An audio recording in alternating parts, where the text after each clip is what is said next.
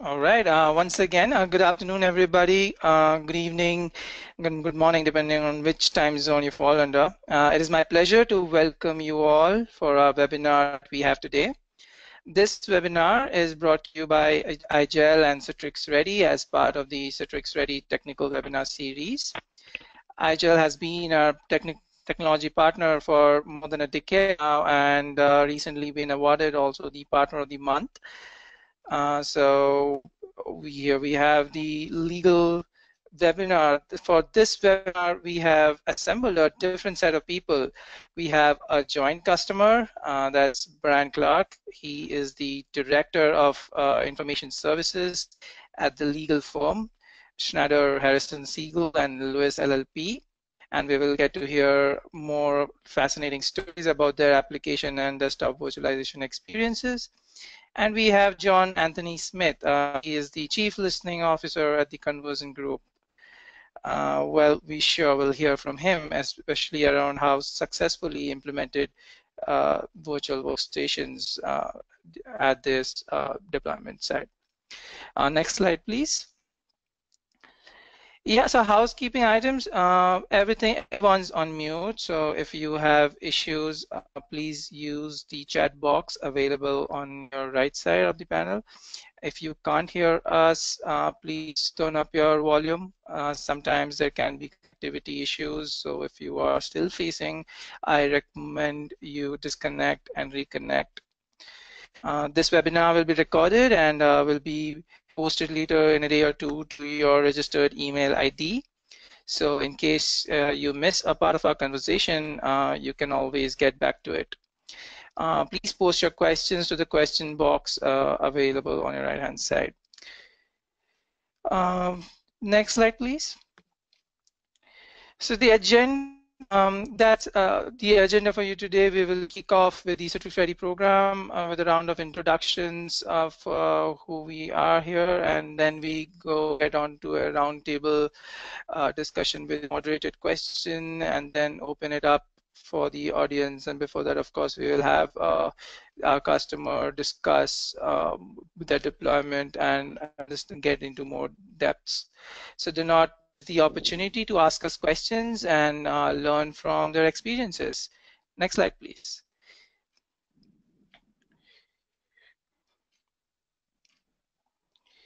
So uh, Citrix Ready program, uh, I'll keep it short. Uh, Citrix Ready is an end-to-end -end technology partner program. We will we help you make better purchase decisions when looking out for third-party products that work with Citrix. Uh, we showcase compatible products on a catalog that's called the Citrix Ready Marketplace. Uh, uh, browse it to citrix.com slash ready. And uh, if you are such a uh, if you are a technology partner and having an integration touch point with Citrix products uh, and willing to join us, you can reach out to the partner page sign up at the link underneath. So uh, next slide, please. All right, introduction. Uh, so I I am Sagnik Datta and I work for the Citrix, uh, leading the technical marketing activities in Citrix Ready. I'll be the moderator for today's webinar. I um, I have also Simon Clifton, who is a VP of Business Development at IGEL, uh, and uh, and a recent feather on his cap was he's been listed as the top mid-market IT executive during the 2017 Midsize Enterprise Summit and he manages the IGEL partnership with Citrix, and I'm glad to have him on the call. So, Simon, uh, what do you want to introduce? Brian Clark, John? Thank you very much, Sagnik. Just a couple of words on IGEL and our partnership with Citrix. Obviously, when I wake up in the morning, the first thing I think about is Citrix Ready and how we can be a better partner and how we can work together. Um, there's a very good fit between IGEL and Citrix Ready. IGEL is, you know, maniacally focused is my uh, is my uh, tagline on the endpoint and the end user experience, and you'll hear a little bit more about this as Brian describes his implementation. But we wake up thinking about how we can be a more effective partner with Citrix with the endpoint and optimizing the endpoint and endpoint user productivity. Citrix is an awesome solution for delivering applications and virtual desktops, and you'll hear a lot more about that in this use case. and then we focus on making sure that you have a superb experience at the uh, endpoint, which is very effective and very uh, relevant for the legal community because you have what we classify as prima donna users, and we've got a very good solution in that space. Um, my role at iGel, I've been here for nine months now. I came after seven and a half years at AppSense, another big partner of Citrix, um, is to make sure that we have the right alliance partners, the right business partners, and we offer a complete solution. To do that, we deliver everything through the channel, and I'm also delighted that we're joined here by John Anthony Smith from Conversant Group, one of our uh, implementation specialists and the people who actually uh, make the stuff work. So without further ado, I'll hand it over to John. Maybe you can say a couple of words about your role, John, and what Conversant does. John, thank you. Yep. Thank you. Thank you, Simon. So obviously, I'm John Anthony Smith. I'm the Chief Listening Officer of Conversant Group. I'm actually the company's founder as well. Um, we, we actually are an infrastructure and security consultancy based in uh, Chattanooga, Tennessee. Uh, we focus actually on information delivery, user experience, and security almost exclusively for law firms. And because our background uh, has been almost completely centered around law, we are incredibly focused on the user experience, uh, as Simon noted, which is why we are uh, partnered with iGel, um, which obviously we're going to be sharing a story with you today about one of our successes. But we are very proud of our partnership with iGel and Citrix, uh, and we we believe that their solutions are are very um, applicable uh, to the legal industry. Um, and so we, we, consider ourselves experts uh, in virtual desktop infrastructure and all the necessary components uh, to, del to deliver a proper user experience. So that's me.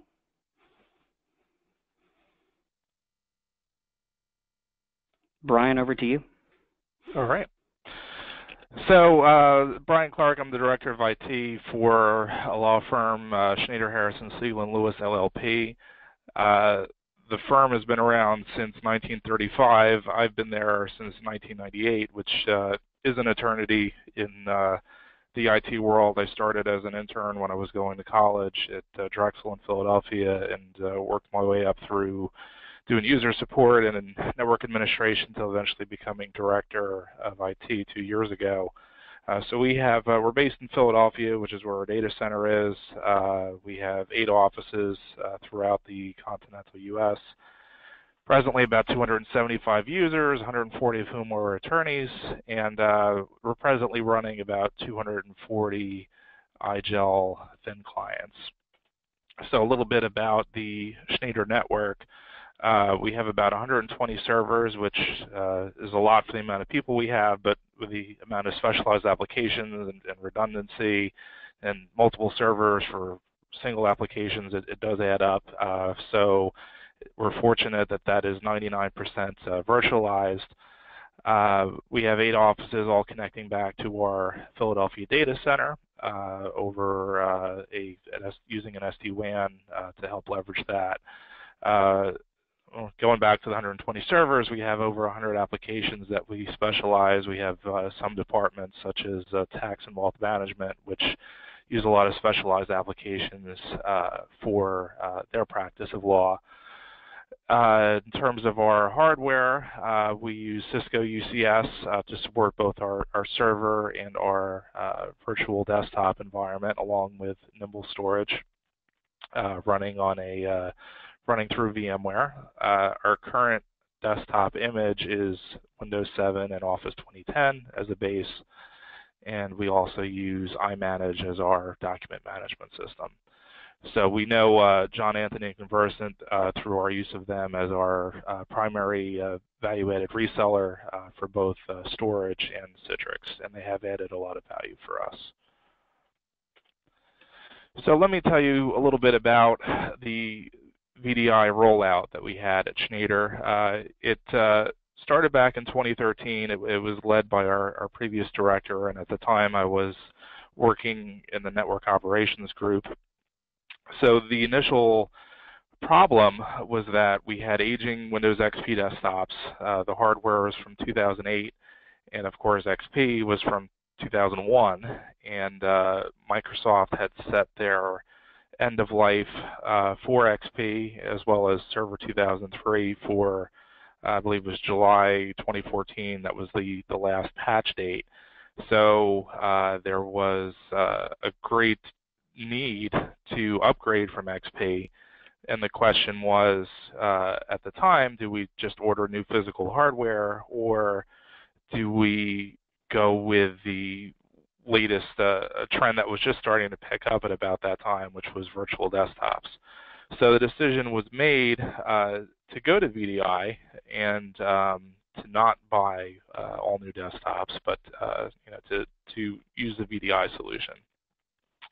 Now there were a lot of complications that uh, weren't contemplated fully and flushed out fully uh, before going in the VDI direction.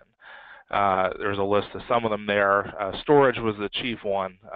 we had had a uh, a fairly new NetApp system, but a NetApp system that didn't have any uh, flash capability. So there were, you know, 15K spinning disks, but uh, that alone was not enough to support VDI. The, the thought at the time was, well, it's a, it's a new storage system. We just put it in last year. It should be fine, and uh, it wasn't fine. Uh, there were also wiring issues. We had uh, a number of offices, Philadelphia being the main office and the main problem where uh, the wiring was done uh, split pair, uh, so there was 100 meg max, so which uh, didn't lead to a great experience in terms of video, so there was a deficiency there. Uh, the thin clients uh, were not iGel at the time; it was NComputing, which um, were known to work well with Citrix, but our experience uh, with them was uh, less than optimal, and we'll talk about that a little bit later. Um, the user experience right off the bat uh, was not good. Uh, the initial reaction was, well, this is worse than what I had on my aging Windows XP desktop. So uh, there was uh, immediate bad word of mouth, spreading like wildfire. You know, don't let IT take your system away you know, you'll get my XP system when you pry it from my cold dead hands, that sort of thing. Um, because slow, slow login times, trouble printing, uh, random disconnections, uh, you name it, uh, it was it was a major problem, and the VDI rollout uh, stalled uh, pretty significantly in uh, 2014. So how did we fix the mess? Uh, we the first thing we did to start getting things going back in the right direction was implementing uh, Nimble Storage in uh, 2015.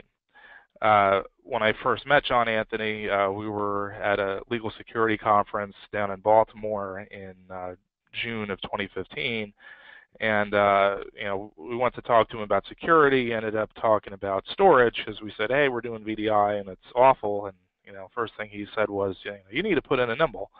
Uh, so yeah, I, actually, when you were describing your symptoms, um, and, and almost immediately, I think I said, I think you have a storage problem, as I recall. And sure enough, uh, it, it panned out that you did, in fact, have a storage problem, and Nimble ultimately solved our problem. Yeah, yeah, absolutely.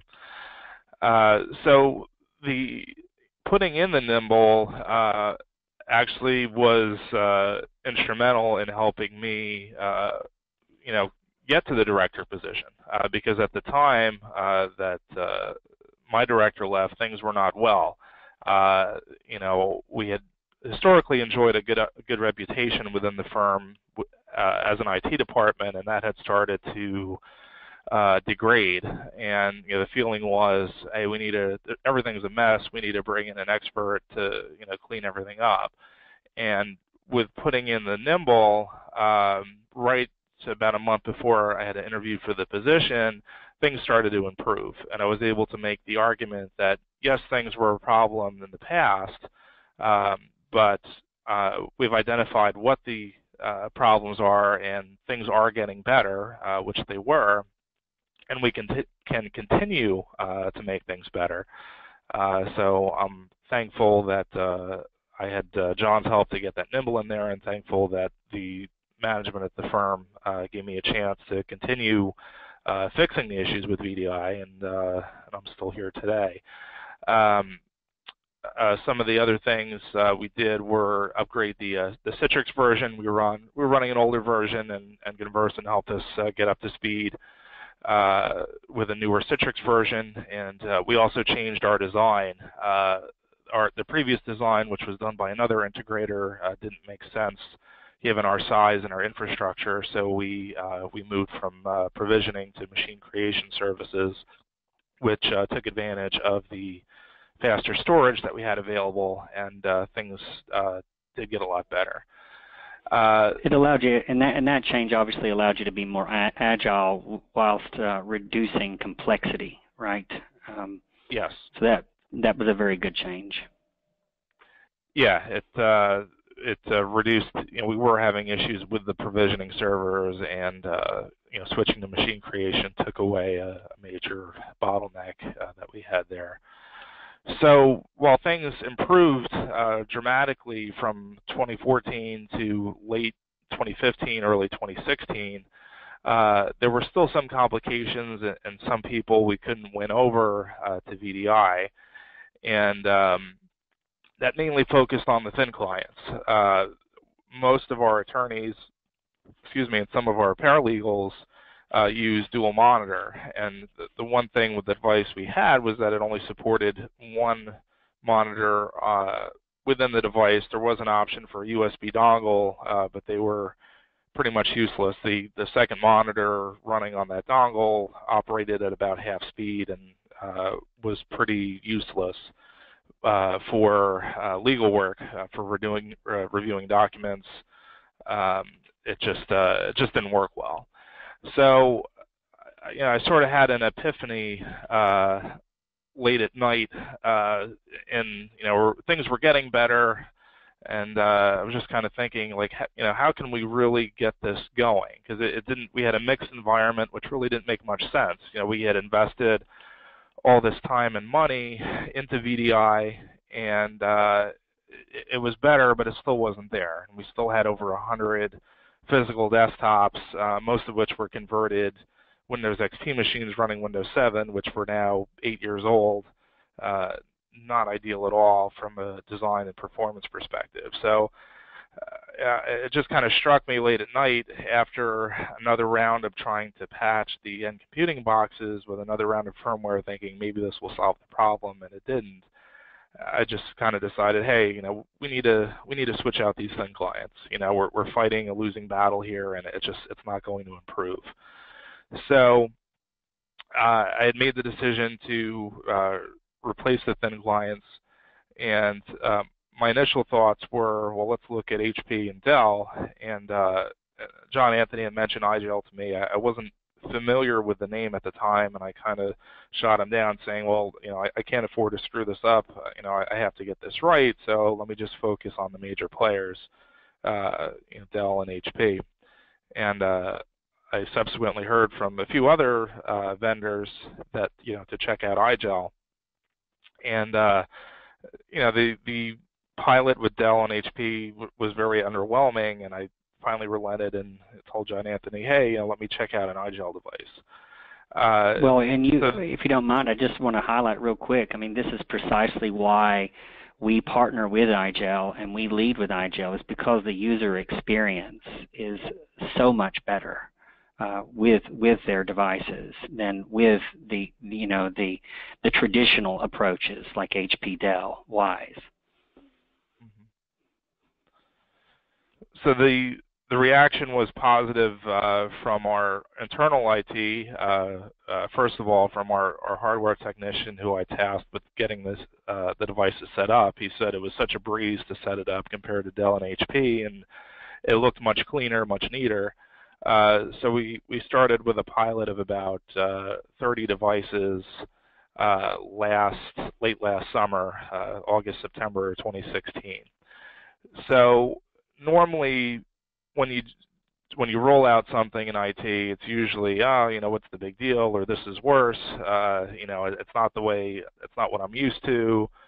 Um, it's very, you know, and you kind of have to take it with a grain of salt. Some people complain about any everything, and uh, it's very rare when you roll something out that people actually go out of their way to tell you something and not complain about it. And that was something that we immediately saw uh, with iGel was immediate positive uh, reaction and good word of mouth. Uh, I think of an associate who was in the office right next to me in Philadelphia who uh, worked out of our suburban New Jersey office uh, occasionally, and uh, he had had a NComputing um, device in, in, the Philadelphia office and had used an iGel in a visiting office in Cherry Hill. And he actually emailed me from Cherry Hill saying, "Hey, I'm on this device here and it's it's excellent. Can I get one from my Philadelphia office?" So didn't even know what it was. He just knew that it was better. Uh, and so we took care of him in Philadelphia, uh, immediate positive word of mouth, which spread to other attorneys in Philadelphia, and I started to get some clamoring for the new device. Uh, you know, gave one to my boss, uh, the, the firm's managing partner, who was uh, not positive on a lot of things, but he was positive on the device. So we quickly uh, burned through those 30 devices, got them all rolled out, got a lot of positive feedback, uh, especially for users who had had issues running a um, running a second monitor, and uh, it became abundantly clear that uh, iGel had solved the last major issue we had uh, with the VDI rollout, which was having a strong, consistent, solid uh, thin client to uh, support the VDI uh, sessions. So we were able to finally uh, get people moved off of not only NComputing, but those old converted uh, Windows XP uh, desktops. So I will now uh, pass it back to Sagnik. Hey, thanks, Brian. Uh, that's very fascinating story. Um, you talked about your infrastructure, your VDI rollout, and how you faced issues and identified a few of those and trying to get the most out of virtualization uh, changing the design altogether, investing your time and the money and and computing. I mean, I thought that's a very fascinating story, and I would like to drill down into more details of your implementation and uh, what specific issues you faced, and see if you can uh, if we can pull out some learnings from your experience. Um, and audience, uh, if you have any questions, uh, drop in those in the question panel in the next coming section. So. Um, so question to you, Brad. Now, so you mentioned that uh, you have about, I think, 275 end users, and uh, you have been able to virtualize about 240 of these users. Uh, can you tell us a little bit more about the issues that you faced? Uh, what stopped you virtualizing everyone, and what progress uh, you have made over the years since your initial implementation? I believe that was 2013. Yeah, so the initial, uh, you know, we, we had set out, of course, to get everyone that we could onto VDI, and the initial roadblock was that it just wasn't working well. Uh, so uh, people had asked for their old XP boxes back, or, or we kind of did it out of desperation because they they couldn't get their work done. Um, so, you know, once we were able to get through, uh, and the the dual monitor was another major impediment too, where uh, people needed a second monitor for intensive document reviews. We could just we never could get the second monitor working well enough um, to support those people. And you know, some people kept the second monitor on the thin client and just kind of struggled through it, or only put their email on the second monitor and, and not uh, any internet windows or, or, document review programs and others uh, we had to give physical desktops to. So once we fixed all the issues with VDI and, and eventually went, you know, with iGel with devices that could support the second monitor natively. Uh, we then went back and tried to convert back all the people who had said no to VDI because of the earlier issues with the thin client and the second monitor. Uh, and then, uh, you know, we're, we're pretty much done with that process. Now the, the, the last impediment is people that use specialized applications that um, we either can't put on the image or don't run well on the image. Uh, and I'm we're small enough so that I'm handling that on a on a case by case basis at this point. Uh, obviously, we want to eliminate as many desktops as we can because it's so much easier from a um, an IT maintenance perspective, which was part of the initial reason for uh, going to VDI. And you know what happened was during the bad days, it it became more of a hassle uh, to update the image uh, because it, everything was spread out all over the place. And, and now it's much easier to update the image when there's a software patch for one of our many applications, uh, Windows security updates. It's much easier to, to handle it through VDI.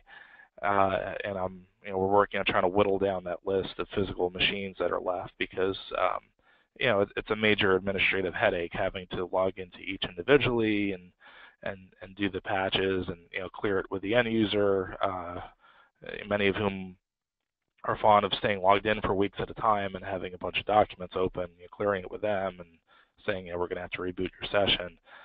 So, um, you know, we, we worked out the all the good all the good reasons people not being able to get their work done, and now we're uh, we're just kind of left with uh, specialized applications um, that require a, uh, a, physical machine.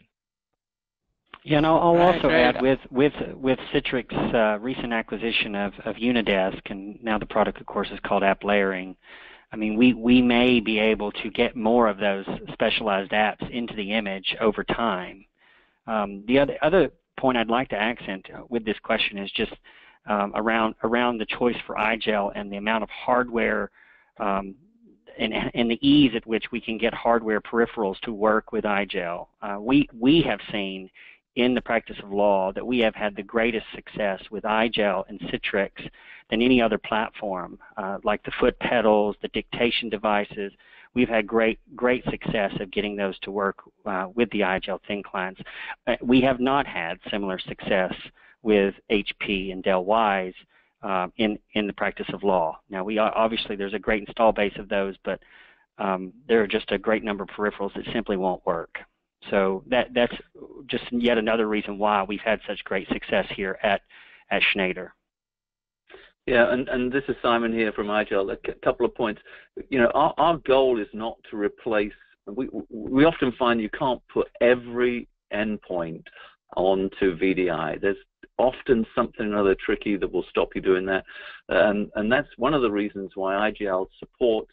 You know, primarily the iGel OS, which is which is a Linux derivative, but we also have an agent that runs on a Windows box so that for Brian, he can be managing some Windows boxes alongside of the uh, the iGel OS uh, thin clients, making it easier for him to see the big picture of all the devices. And, and we see this across the board with our customers that, that, that some printers, some scanners, some specialty devices. You know, we've got 75 engineers in Augsburg, but they can't fix every problem immediately. You know, we're working on it, but uh, it's it's a process. And, and one of the things I love about this story is, you know, the, the, the, the, process that Brian's been through in bringing up to speed all of his users and, and slowly adding more and, and more tricky use cases. I think it's a classic example of how VDI should be done. Sorry, back, back to you, Sagnik. We're getting distracted here. Absolutely. I mean, I don't know. I think that's a great conversation to have, and uh, really uh, understanding Brian's process, uh, you can find out the real value of the VDI overall solution. And uh, yeah, I think uh, the UMS is also uh, that you mentioned is a great management tool for the endpoints. From iGel managing and just iGel and also other devices. Um, and coming back to Brian, so this you mentioned about productivity. So how do you measure uh, how did you measure productivity for the lawyers and your IT staff? Like, uh, what metrics were you measuring? So, you know, in terms of uh, billable hours, which is, of course, the, the lifeblood of any law firm, so it, it's hard to translate that into hard data. I mean, as as a firm, uh, we're we're doing better now than we were a few years ago, but I mean that could depend on a lot of a lot of factors outside of IT, just you know with uh, more billable work. But um, so there's there's some factors that you can't measure. I mean, certainly uh, there's less angry calls about uh, not being able to log in or, or, or getting disconnected, which you know translates into lost time, either billable time or personal time for our attorneys and staff. But you know, one metric that we do have that we can measure is uh, calls to our help desk, which uh, are down about 40% uh, now uh, compared to um, you know the initial issues that we had uh, with VDI and the uh, and the thin clients. Um, you know, we noticed a drop.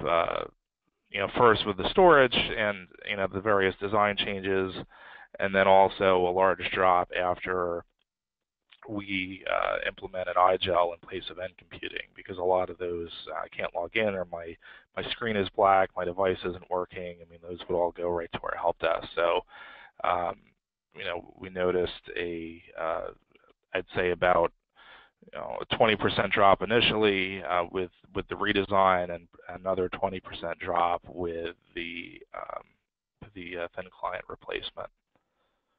I say this jokingly, but uh, seriously, one of one of the most important metrics in a law firm is whether or not your lawyers want your blood or not. Is that hmm. that fair to say, Brian? Yeah, yeah. My uh, se- several uh, directors ago, a guy I worked for said, uh, you know, if, if there's no one at the door looking for my uh, looking for my head, you know, it's a it's a good day. So uh, right. and and and my you know my boss uh, measures my performance with, well, there's no one calling him to complain. Uh, so, you know, he sees me as a, as a success, you know, in that regard, because I'm sure he has no shortage of people calling him to complain about other things that aren't IT related. So people aren't it's calling rare him to for complain a, about IT. yeah, it's a rare it's rare for an IT guy to get an attaboy in a law firm. Fair. Right. Very fair. I hope my manager is not watching this webinar, uh, knowing the metrics of number of complaints goes to him about me. So yeah, that's a pretty good metric to measure, I guess. Uh, so Brian, coming to performance issues, um, was there any noticeable difference between San Francisco office and uh, Philadelphia office, which is where your data center is located? Yeah, that is uh, that's a good question because you know San Francisco has always been uh, a problem area uh, just because of uh, the distance involved, where um, you know we're primarily based on the East Coast. Uh, Pittsburgh isn't exactly isn't exactly on the coast, but it's uh, it's eastern. Uh, San Francisco is the only office that we have that's not geographically within a couple hundred miles of Philadelphia. Um, so um, very uh, very dependent on um, uh, having a, a, strong uh, WAN, uh, you know, to reach back into the data center, and very um, whenever there are issues, they'd be the first to notice them. Uh, and again, it's a major part of the success story was getting IGEL devices out there and uh, increasing the user happiness and productivity uh, in that office. Um, you know, since we've implemented IGEL, and uh, I'll, I'll, go back to the second monitor thing. Um, that was one office where we just couldn't get the second monitors to work at all, and I think it was because the, the latency that uh, the users were experiencing having to go through a USB dongle for the second monitor was just uh, exacerbated by the long distance uh, over the over the country. So I, I, never could get the second monitors working successfully over there with the NComputing, and uh, with the IGELs they're working fine. Isn't isn't also important, right. important to mention? I, I think we are using SD WAN as well to ensure connectivity. Is that right, Brian? Correct. Uh, and uh, though they aren't on this call, uh, what I was able to do was uh, put in uh, a Cogent line out there uh, using Talari for SD-WAN, which also made a big difference. Uh, we were able to um, utilize the same carrier. We have uh, our primary internet carrier in our Philadelphia data center. We're able to utilize them out in San Francisco uh, with just an internet link and uh, an SD-WAN box. Um, so we're able to improve our bandwidth and also uh, lower our communication costs. We're on a, a dual MPLS network uh, out there, but only able to utilize one line at a time. And uh, we were able to reduce our latency and increase our uh, our uptime uh, through uh, implementation of, of SD-WAN out there. Right, very interesting. And uh, yeah, IGEL thin clients are uh, SD-WAN compatible and XenDesktop uh, SGX premium level. So it goes under before before calling out that it's compatible with the product version, it undergoes a vast verification process uh, and performed by both our teams at IGEL and Citrix Ready. So I'm glad that uh, you're finding the value uh, in our joint solution. Um, so Brian, uh, talking, moving security, um, have you been affected by any of the recent uh, spate of malware, uh, Petya and uh, WannaCry? And uh, how do you protect yourself from these issues? Um, we uh, we have not recently. Um, we did have an issue uh, several years ago um, with uh, ransomware that we had to go back to um, uh, snapshots on the storage system and, and, backup tapes in one instance. Uh, thankfully, we weren't hit as hard as we could have been. Uh, and we've since uh, tightened up our controls uh, for uh, running macros within Office, and then also implemented some security features from Mimecast for email filtering, both for sandboxing attachments and also screening out malicious URLs. So um, you know, having VDI is an advantage there in that uh, you know we, we're able to wipe anything clean, um, anything bad that gets in. We're, we're first focused on keeping the bad stuff out, and then also if something were to get in, someone's uh, started throwing off alerts on our desktop, we're able to just log that user out and uh, destroy that machine automatically. Uh, so you know, having uh, having VDI and and having more people on VDI is certainly part of our uh, overall security strategy. Excellent. And uh, tell us more about your endpoint. Uh, so we, uh, what about your peripheral devices? Uh, there were mention of dictation devices and uh, so forth. And do you ever have issues with headsets, scanners, printers? Any other specialty devices that end user uh, want you to support? Uh, yeah, as John Anthony mentioned, uh, yeah, dictation was the major issue. Um, we have a number of those legacy devices around, and I've been working on eliminating that. I mean, the like anything else, there, there's an app for it, uh, so it's hard for me to justify, uh, you know, replacing a 12-year-old dictation device with another dictation device that costs three or four hundred bucks when you know you could just use an app for ten dollars and take care of it. But you know the the problem there is that uh, you know a lot of the attorneys that use dictation are uh, not as technically proficient, so getting them to to maneuver around an app uh, can be difficult. And then uh, even if I can get them to use the app, the app, the secretaries still need to use a uh, a foot pedal to um, you know to play back a dictation. So uh, there was a need for the thin client to support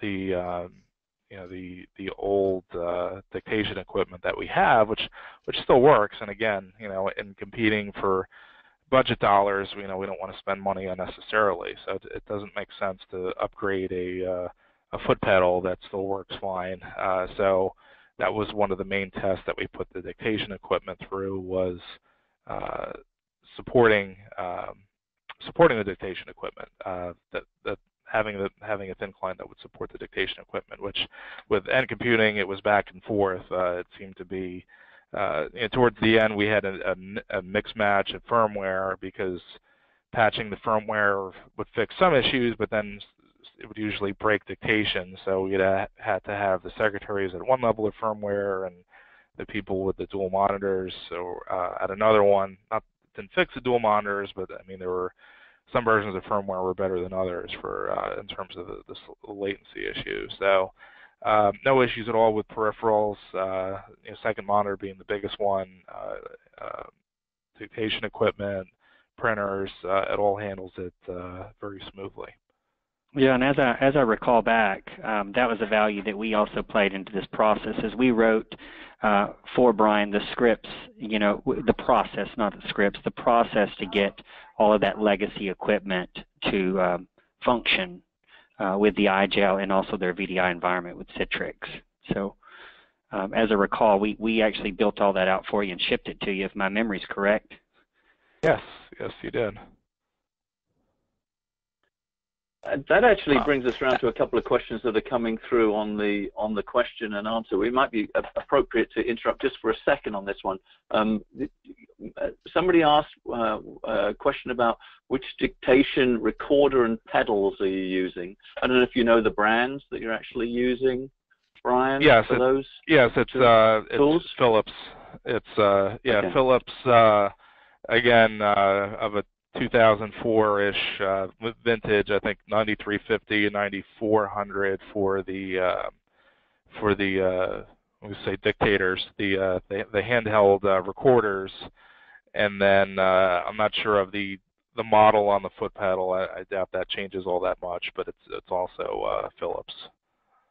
Yeah, and I can just add that we have had a lot of success with, with the legacy Philips equipment at other firms, um, not just Schnader, and also Olympus as well, for, for those that are listening. Mm-hmm. And, and then the other question that we got, similar vein, is are you using Skype for Business or Jabber for uh, uh, Universal Communications? And, and, then whilst I'm at it, I'm going to ask, which, can you tell us which versions of the IGEL thin clients you're using? Um, I, I, there's one question was, are you using the UD Pocket? So maybe you can uh, tell us quickly which versions of IGEL you're using, as well as the uh, um, Skype for Business or for Universal Communications.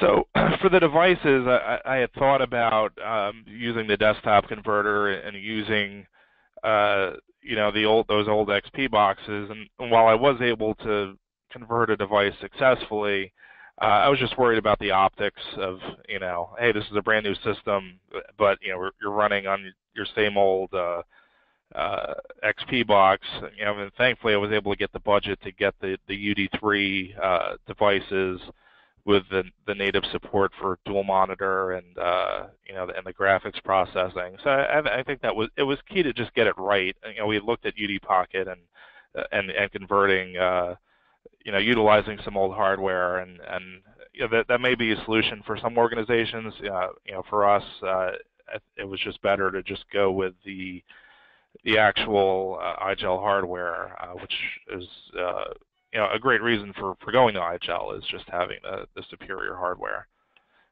And uh, I think we're at version 5.11 of um, the uh, of the uh, IGEL software on the on our endpoints. Excellent. Well, We'll be we'll get you migrated to the version 10, which is our 64-bit version that's uh, got that we've been working a lot on all the peripherals on that one at the moment. So hopefully we'll see that coming through. Um, on the universal communication side, Skype for Business, Jabber, any of you know the Cisco VXME solutions, are you using either of those?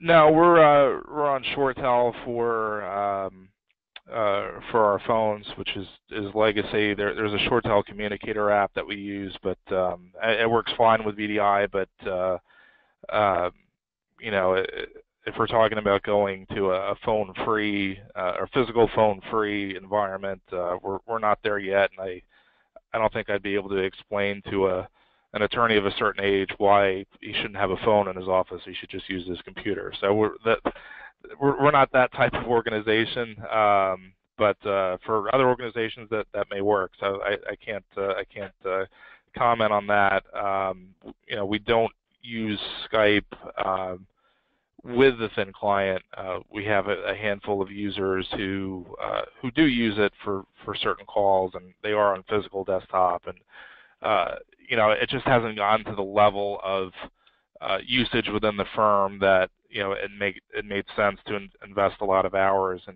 in, in uh, you know and in trying it out and getting it to work. It's just easier. We have we have some uh, uh, all-in-one desktops uh, that you know work well for that purpose, having the integrated camera. So we, we decided to go with our existing hardware, and it's just a, it's just a handful of people anyway. Um, if, if it was if we're talking 10 or 20 at that point, then uh, you know, we would probably work with uh, with IGEL and, and Conversant on uh, on on getting that uh, getting that to work. But it's just not not much of a priority at this point for us.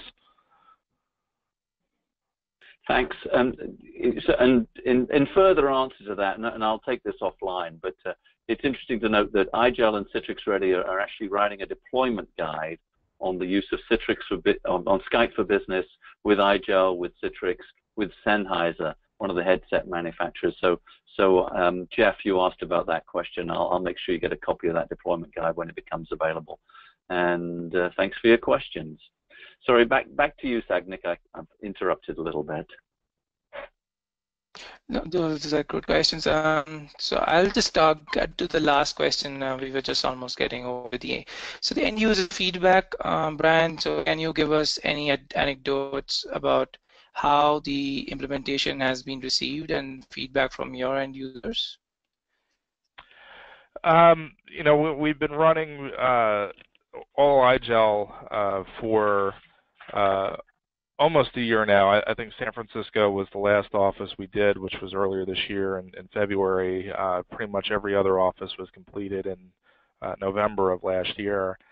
Um, so again, I uh, as the devices were switched out, uh, there were no complaints. Uh, there was no one that told me it was worse than before, and you know, not not everyone is going to call me and and give me a glowing review, but uh, the amount of people that did and, and the type of people that did, you know, people not given to positive reactions for most things IT related, uh, for, for them to actually uh, uh, compliment me on it and, and, and saying, you know, that it was a big improvement uh, was, uh, you know, it, it was a good investment of money. You know, it's never easy to uh, say, hey, we wasted money on this, uh, you know, which is which is what we did, unfortunately, with the previous um, thin clients. And you know, one thing I've learned um, in this position over the last uh, two years is that sometimes cheap is expensive. Uh, you know, you, you, may be able to get a uh, a cheaper thin client than IGEL.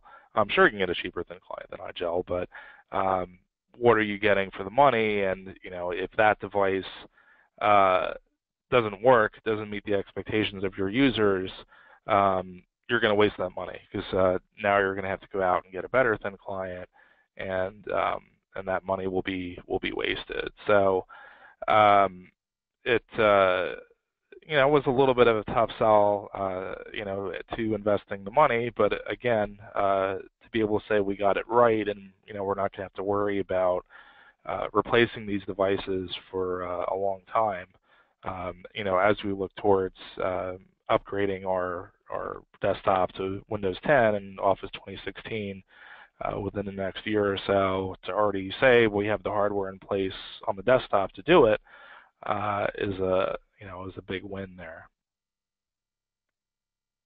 Great. Um, uh, all right. I think these were the questions that I had uh, from the moderators. I'll the rest of the things which Simon has passed on which are more generic from the audience that been asked. So I'll I'll ask one by one.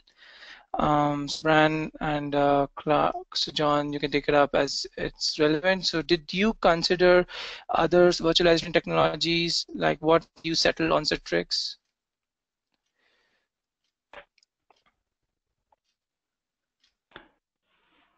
Was that question intended for me?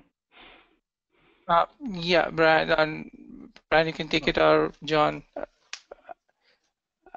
So 2013, so did you consider any other virtualization technologies or like what made you settle on Citrix? Um, I mean, we've, we've been a Citrix shop for uh, uh, since probably I think 2004, 2005, uh, when the firm uh, first introduced uh, remote desktop capability. Uh, so it uh, it made sense to uh, to stick with it, you know, given the existing licensing and the existing um, relationship that we had uh, with uh, with Citrix, uh, and then also having um, having Conversant around as a a trusted Citrix partner and reseller who you know could evaluate our environment and say you know the the problem isn't you know with Citrix Citrix itself, it was with your design and storage, and then also helping us uh, you know get uh, software upgrades in place successfully. So uh, you know having a long-standing relationship with Citrix uh, helped. Um, you know we're also a Citrix uh, NetScaler uh, customer, and that falls in line with the you know Citrix VDI as well. Mm-hmm. Yeah, I would just add, add a little little more color to that as well. In that, uh, I, I would be as bold as to say that if you're going to do VDI, you should do it with no one else but Citrix. Um, in particular, in a law firm, um, because the user experience is so keenly important in a law firm uh, due to the nature of the users and how they work and when they work and from where they work.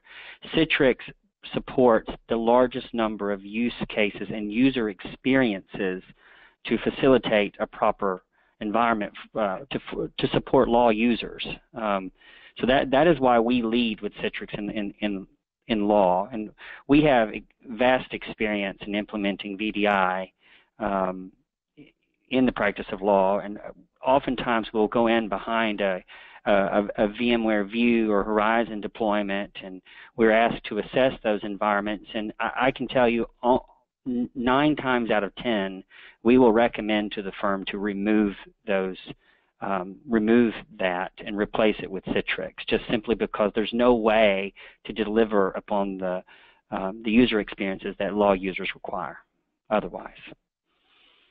Yeah, and I can I can validate Excellent. that too from from the IGEL perspective that we, we we see a lot of our enterprise customers who have particularly who have users with complex implementations require the strength of the Citrix solution.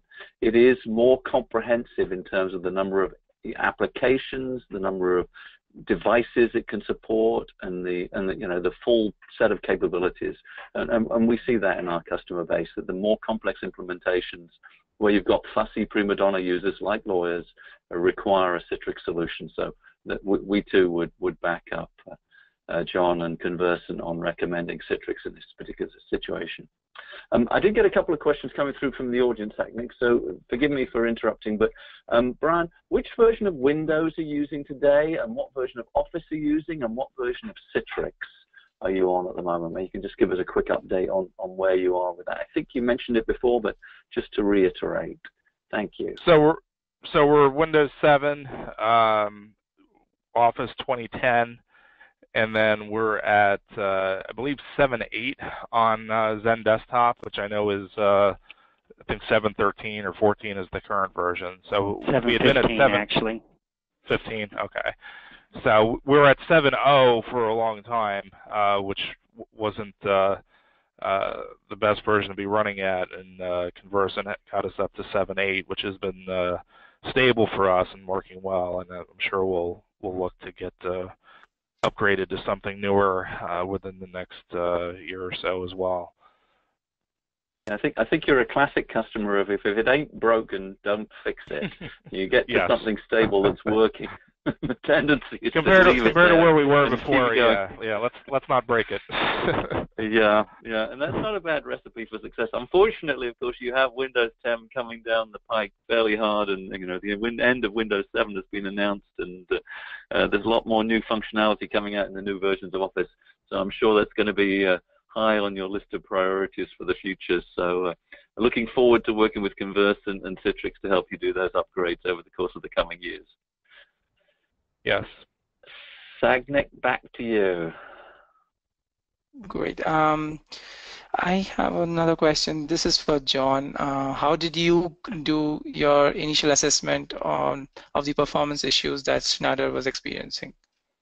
Actually, it's it's a very interesting story. I mean, uh, as as Brian had mentioned, um, we were both attending LegalSec, uh, which is an ILTA event, and I believe that that year it was in Baltimore, and uh, Brian had uh, stopped by our booth and we were talking security.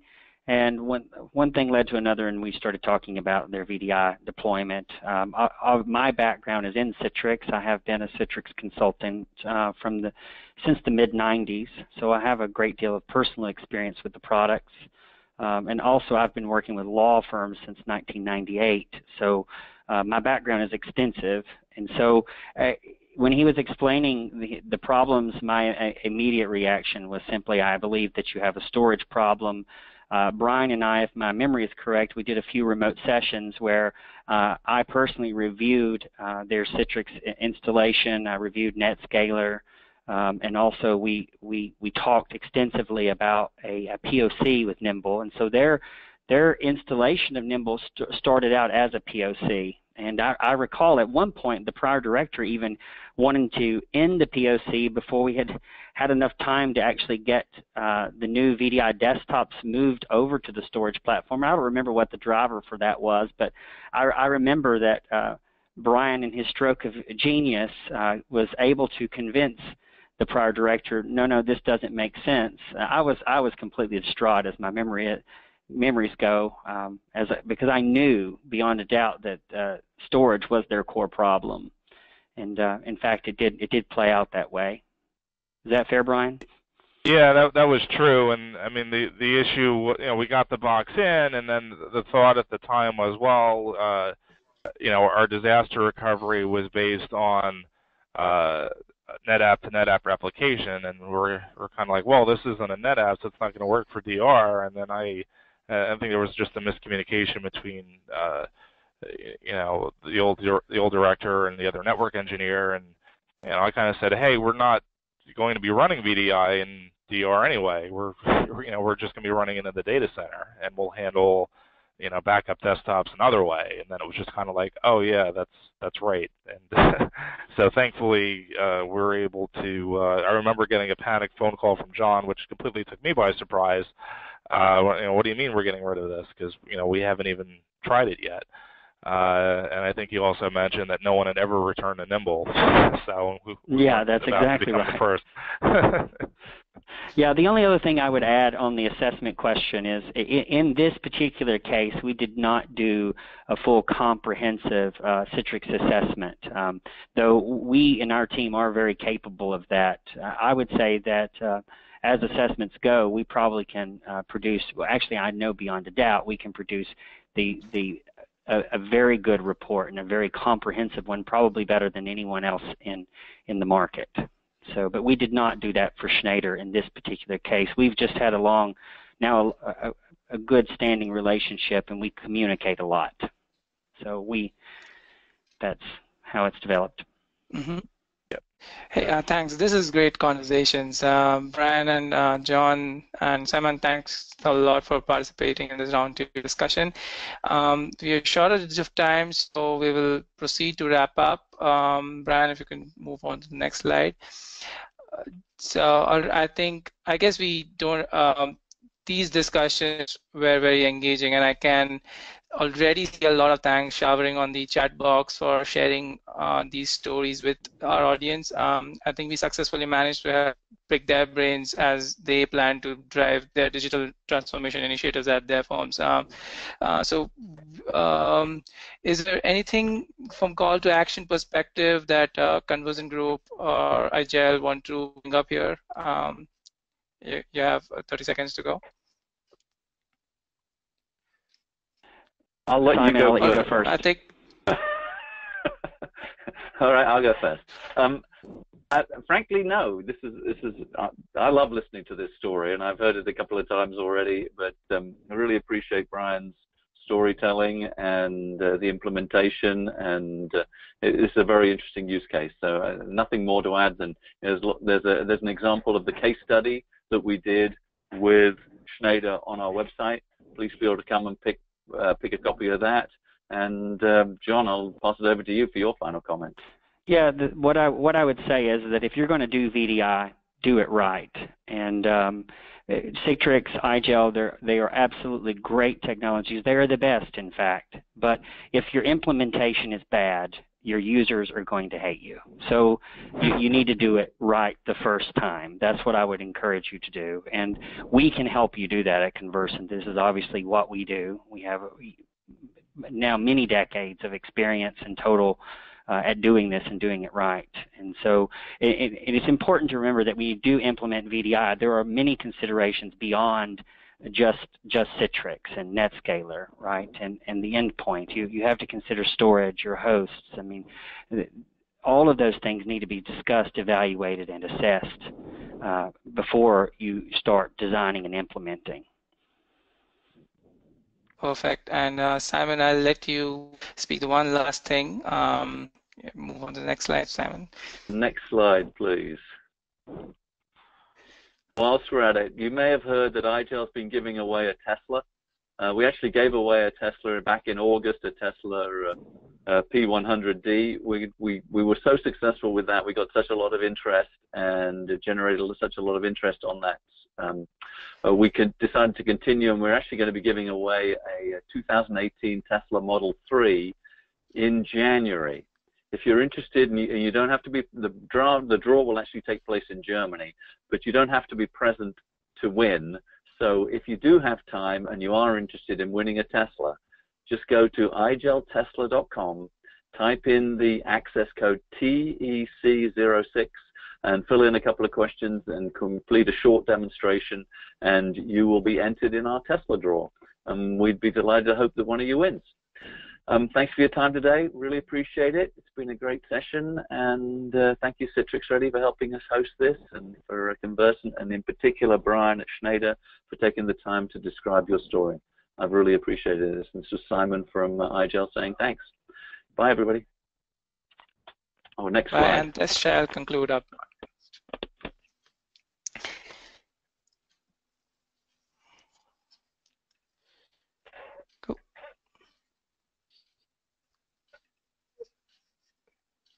Righty.